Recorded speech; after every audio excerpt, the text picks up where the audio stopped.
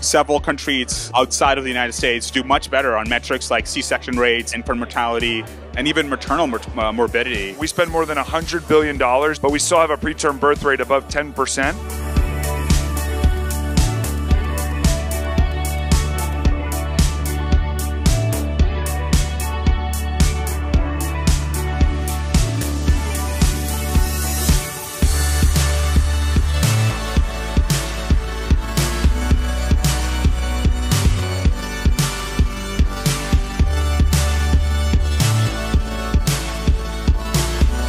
Few months ago, one of our users reached out to us and said, Hey, your product helped save my life and my baby's life.